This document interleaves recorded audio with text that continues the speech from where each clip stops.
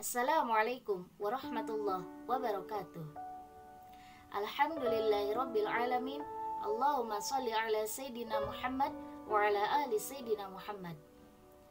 Sahabat, tidak terasa kini kita sudah berada di penghujung Ramadan. Dan Ramadan akan segera pergi meninggalkan kita semua. Bulan Ramadan adalah bulan yang sangat mulia, bulan yang penuh berkah, dan bulan diturunkannya Al-Quran.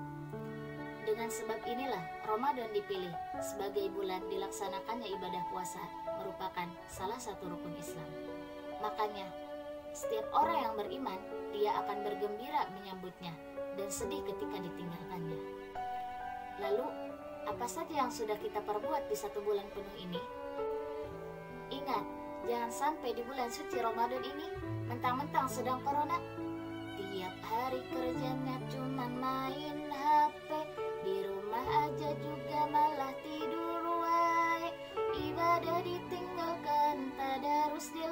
dilewatkan Tahu-tahu besok sudah lebaran. Astagfirullahaladzim Waktu begitu cepat berlalu. Baru saja Ramadan kemarin datang. Kita menyambutnya dengan sangat bahagia. Dan sekarang Ramadan akan segera pergi meninggalkan kita. Ketika gempa takbir mulai berkumandang Ramadan pun perlahan meninggalkan kita. Marhaban ya Idul Fitri. Semoga kita dipertemukan kembali di